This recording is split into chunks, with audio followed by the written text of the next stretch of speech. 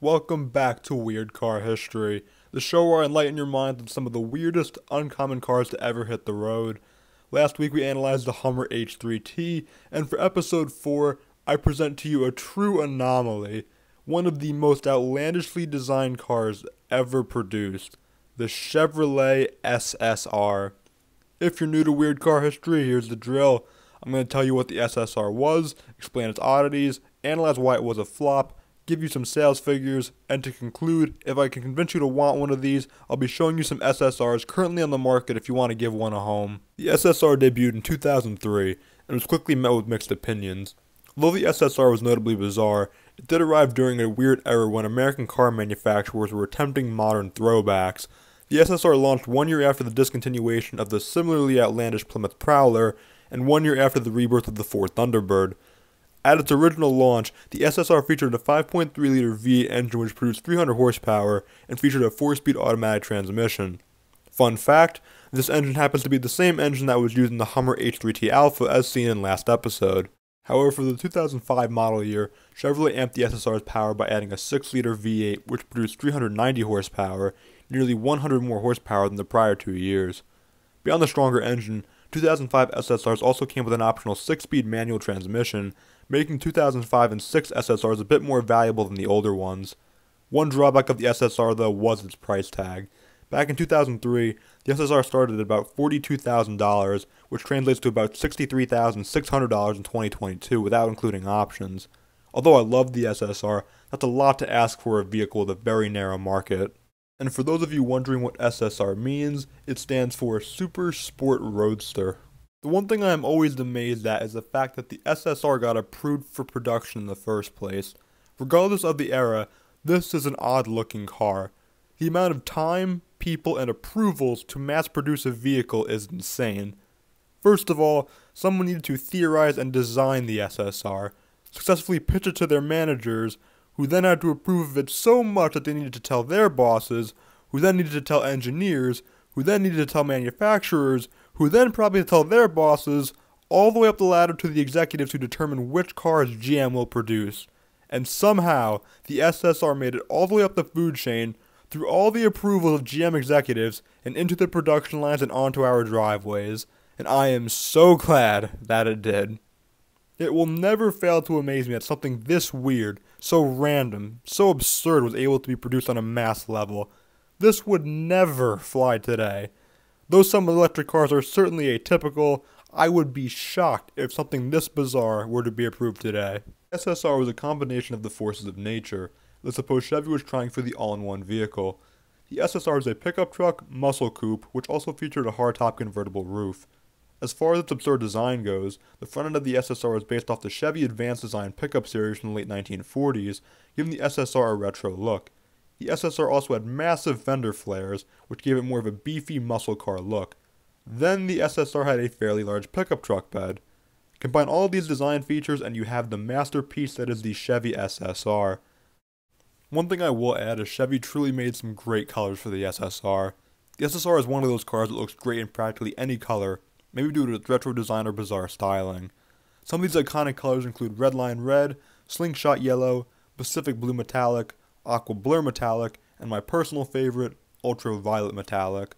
Again, as you can see from the photos, in terms of exterior colors, General Motors nailed the color options for the SSR. And just to reiterate, the best engine option for the SSR was a 6-liter V8 which produced 390 horsepower, which was offered from 2005 to 2006. And as far as the interior goes, it was simplistic enough for a 2000 GM vehicle, although the SSR did come standard with large, comfortable looking black leather seats. So why did the SSR fail?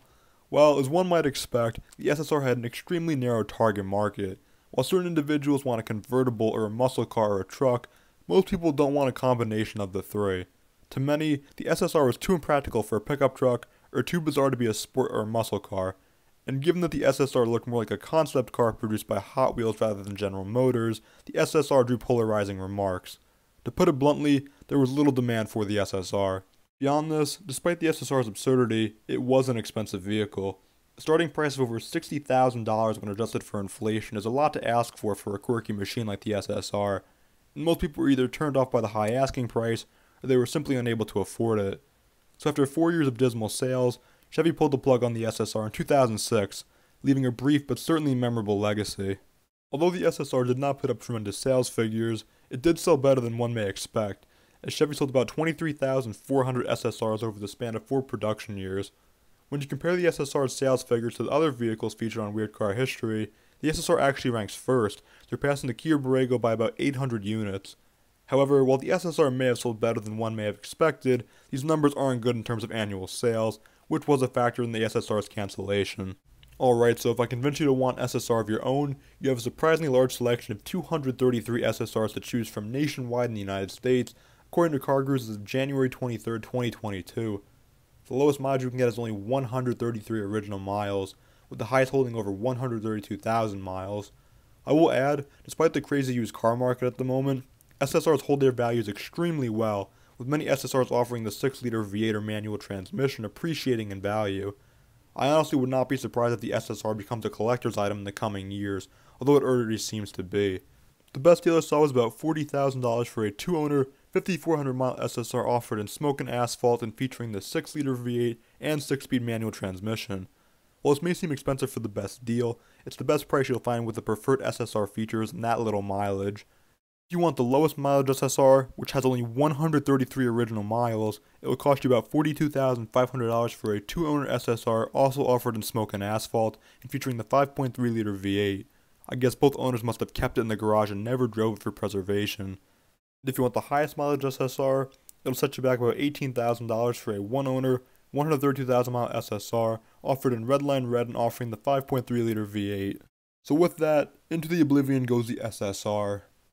While the SSR drew mixed response, one cannot deny that it is one of the most bizarre looking vehicles ever produced. You know a car is special when it turns heads for even non-enthusiasts, and that's exactly what the SSR did.